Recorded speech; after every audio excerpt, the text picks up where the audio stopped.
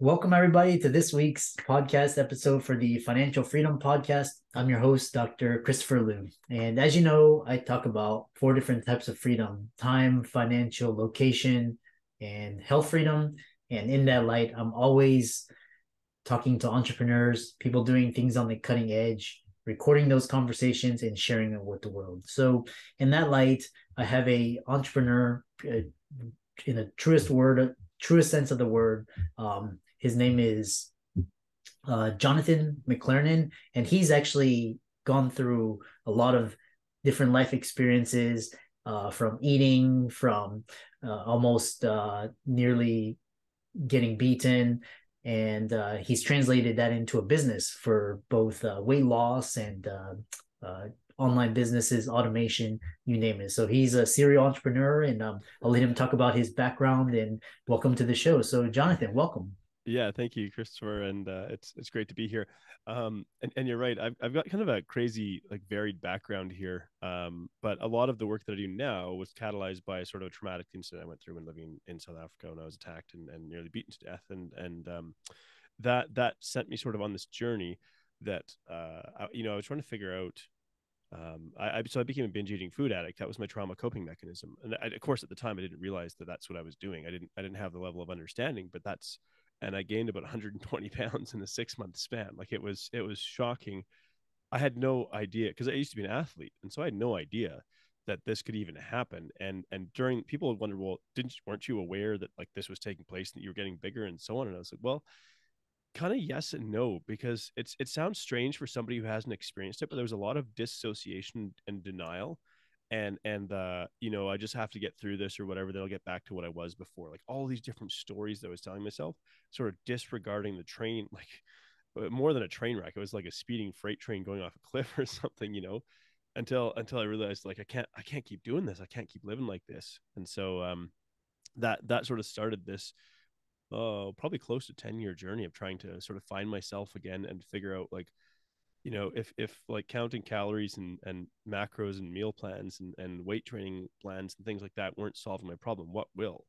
And uh, that's kind of what brought me to the, to the work that I do today. So interesting very very interesting so tell us um more about you know what you do current day um yeah and uh, i find it fascinating yeah and, and just quickly i wanted to just acknowledge i think it's really cool that you talk about freedom in four domains rather because a, a, lot of people do talk about financial freedom but I, I, love that it's locational freedom and health freedom and emotional freedom as well. Like i think it's it's so important because if we don't have our health like a lot of the other freedoms don't really mean anything to us. And so uh, in a nutshell the, the two main things that I do, I do well i do really three things. One is i have a podcast. It's called between the before and after and that's us talking about people's life stories about overcoming adversity. So that's probably my my my passion project.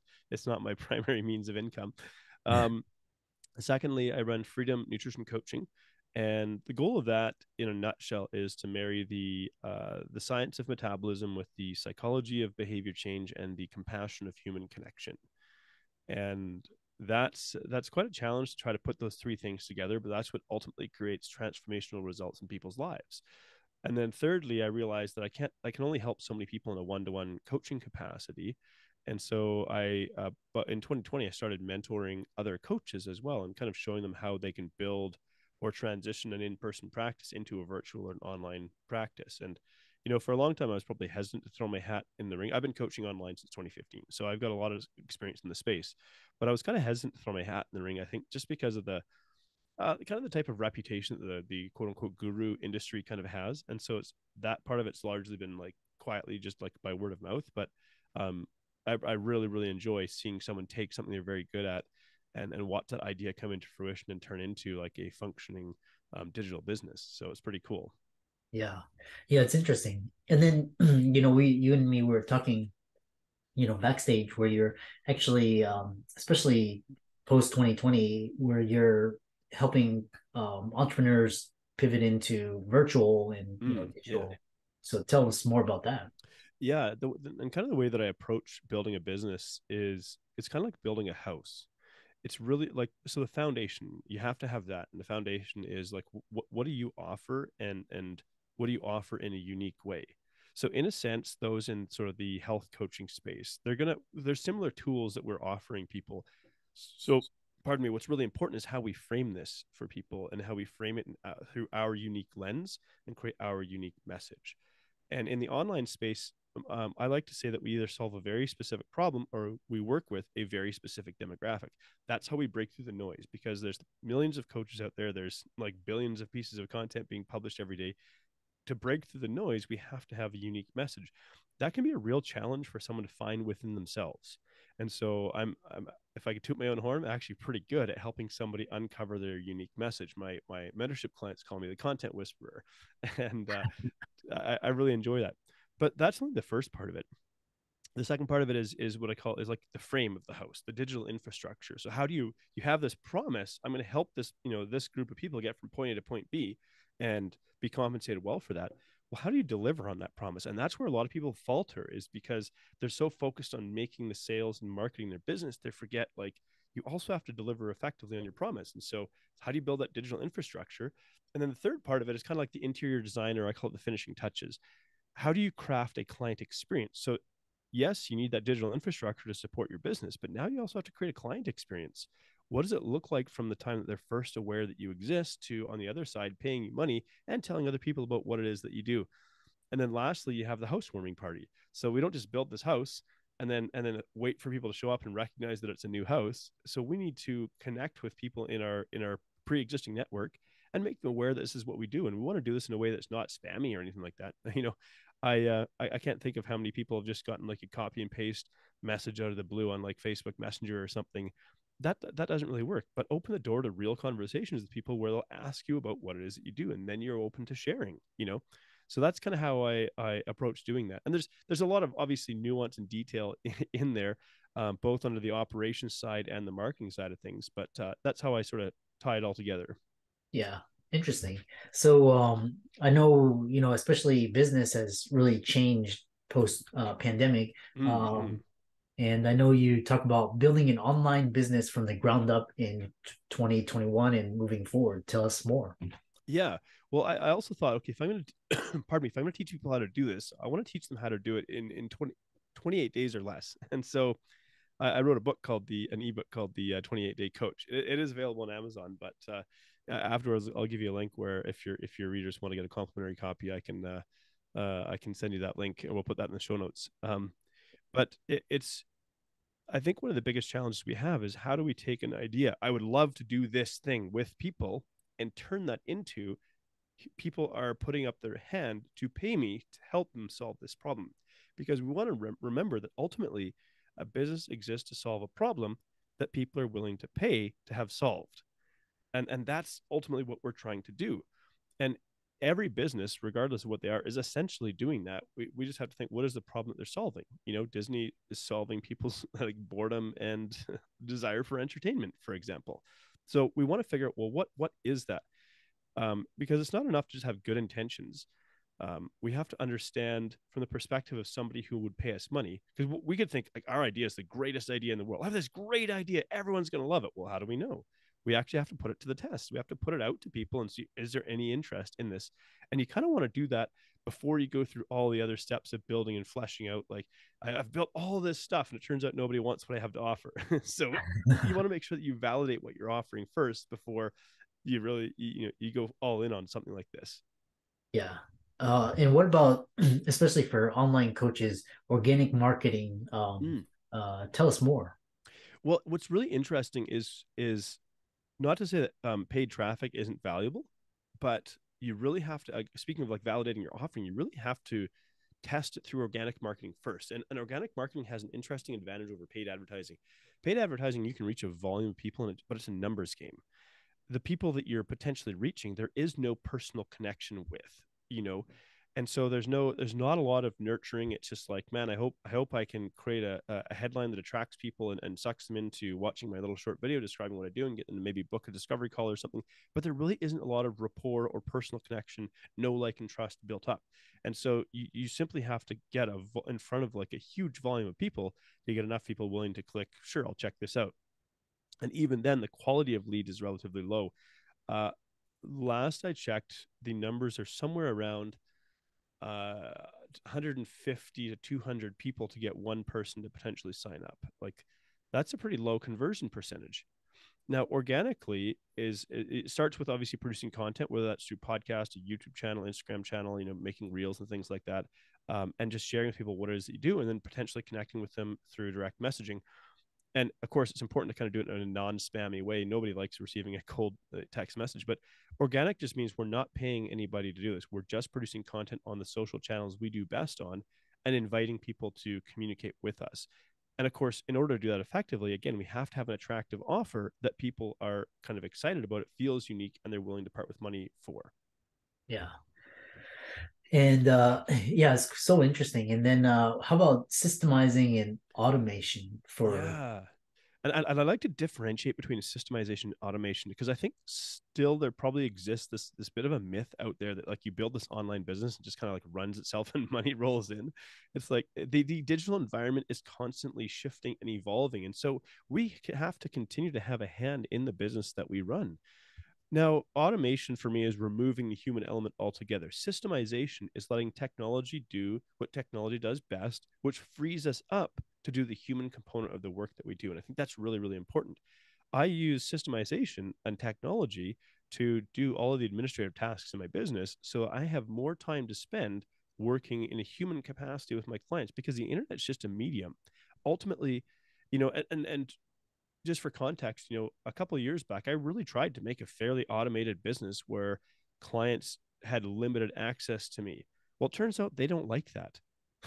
it doesn't like they really don't. They, they're in order, especially if you're working any sort of like coaching uh, or or mentorship type capacity. There's such need for genuine human connection, especially post pandemic. There's a real hunger for that, and so we've seen this shift back to, okay, we have to figure out how to create scalability and we create scalability through systemization but we can't lose the human connection in there. And so i try to be a very human like online business as well.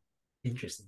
Um one thing that's talking about is um the audience size and uh, mm. you uh, do you need a big audience to be successful? Uh, no that's quite a myth actually. Um now i'm not going to say that having a big audience doesn't potentially help if you have significant reach but when you're trying to nurture like a meaningful community of engaged people, if let's say you have an audience of maybe 20,000 or 40,000 or something like that, which sounds like a great number. But in reality, could you ever like contact or communicate or be in touch with all of them? You just kind of have to put stuff out there and hope that somebody out there sees it and reaches out to you. If you know, and think about how long it would take somebody to serve 40,000 people. It would take potentially a lifetime in depending on the type of like coaching that you're doing unless you build a, like a, a large team. And so the idea that I have to have a big audience to succeed is a myth. You want to have an audience, but a small engaged audience, you can actually nurture a really engaged and connected um, community of people that feel a much deeper sense of connection than somebody with, say, a million followers in social media that has like no personal connection with any of their followers. Yeah. Um, and what the, the other thing is this um, six figure goal. Why do you think this is overrated in business? I, well, this is what a lot of people promise. Now that being said, I, I, almost want to put this caveat in here because it seems like there's a bit of runaway inflation at the time of recording this. So I'm like, maybe six figures is going to be like the new forty thousand dollars a year by the time this hits the airwaves, you know. But but in, in reality, so um, of course, if you go to build an online business, what you're going to see is um, in the guru space, people talking about either creating a six figure or a seven figure business. So just to clarify, what we're talking about is a, is a business that does more than a hundred thousand in revenue is a six figure, and a business does more than a million dollars in revenue would be a seven figure business. But what's understood is what's known as the utility of money. There's this idea that the more money I have, the happier I will be, and that's a myth. What we see is beyond about at the time of recording this, anyways, is beyond about eighty thousand dollars a year. People's sort of happiness with increased income drops like it, there's a diminishing returns on it. And so and what i found even in my own own businesses is when i was really pushing for like high high high income numbers i was i was not happy. I was stressed out. I was i was burnt out. I was pushing way harder than i needed to. And truth is i didn't really want to manage a team. I just wanted to run a lifestyle business where i could make make money make ends meet but i got the freedom to go have lunch with my wife and my little boy or you know, if I want to go for a walk or have a nap or go for a workout in the middle of the day, I can without feeling like, you know, everything's going to fall apart. And so, you know, to, to, and the average like coach and sort of the particularly I could speak maybe most accurately in the health coaching space makes between four and five grand a month, which is between 50 to 60 grand a year, give or take.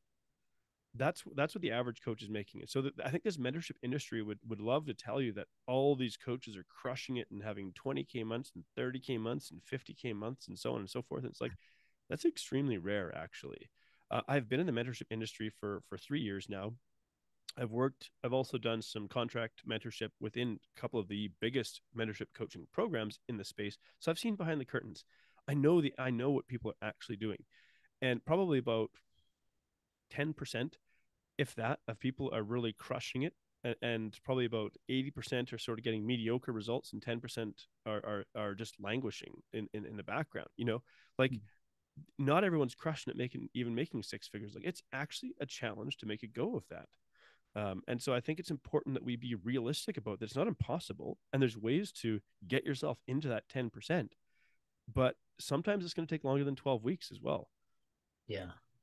What do you see as the dark side of this mentorship guru industry? uh, I think there's a lot of what I would call like predatory sharks out there. So I'm also really well versed in sales calls, discovery calls, enrollment calls. That was one of my specializations within one mentorship company that I was working for was teaching people how to do enrollment calls and how to you know objection handle and so on and so forth.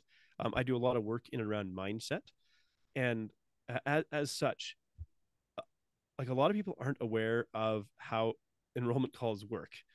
And they're structured in a certain way to elicit you to move you into a certain emotional state to elicit a certain emotional response from you to get you to buy. And a lot of mentorship companies what they do is they focus on the numbers like enrolling as many people as possible. And once you're in it's like yeah that's it. Whether or not it's right for you it's like too bad. We already got your money. So what are you going to do? And that happened to me back in 2019 i remember paying like 7500 bucks to go into this program. And you know, excuse me, they, I, they told me everything I wanted to hear, mm-hmm. how this was going to transform my business. I got inside the program and I was like, this isn't even for my type of business. This is absolutely the wrong fit. Yeah. I, you know, your sales guy was really good and I believed him because I'm a trusting kind of guy. Mm-hmm. And all I've found is that, that, like, this is nothing like I was promised. Yeah. And, and now I'm out all this money, and and I had to finance it with debt at that point in time because I had a previous business failure in uh, mid 2018 that cost my life savings. And I had to rebuild, like not even from the ground up, but from like a very deep hole. Yeah. And so I'd taken a leap of faith, spending this money to invest in this mentorship, to find out it wasn't right, the right fit. And they were just like, "Too bad, you signed a contract, so mm. suck it." And I was like, "That."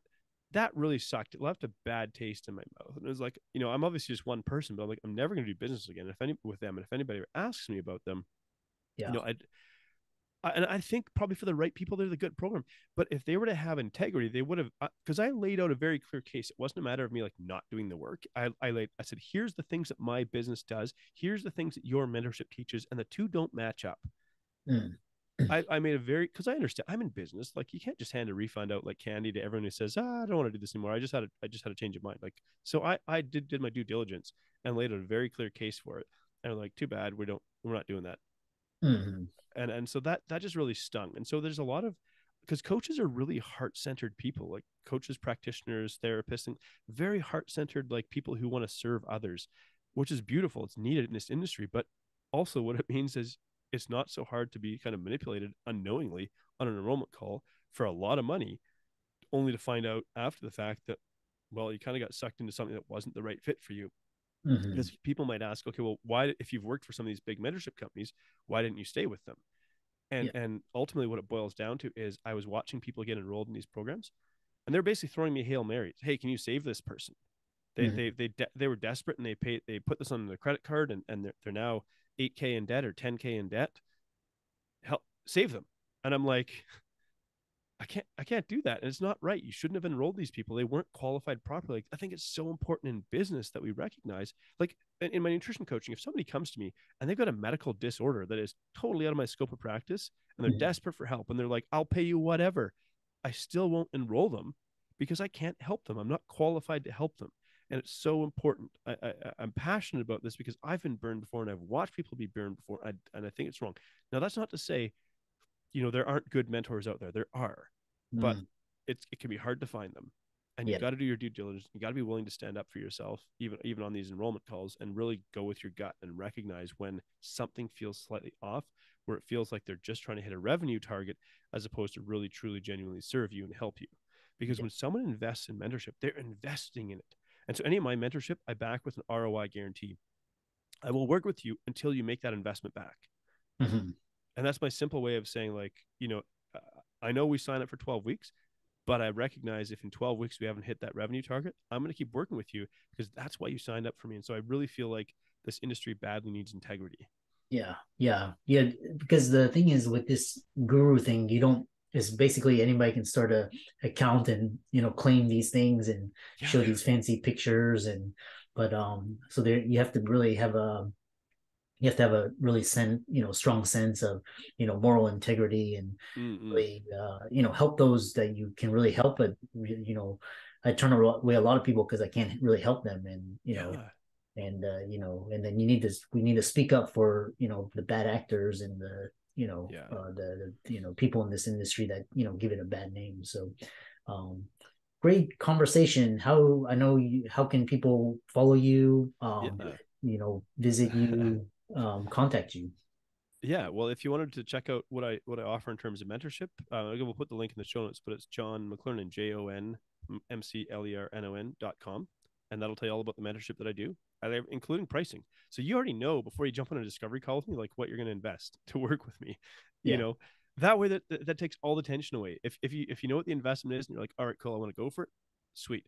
Now we can just have a conversation. There's not this tension of like, oh, when they drop the price. And and I would say it's extremely reasonable. I've chosen to do it this way because I'm not chasing huge, huge number of figures to, to brag about it on social media. I'm doing this to genuinely help the industry move forward.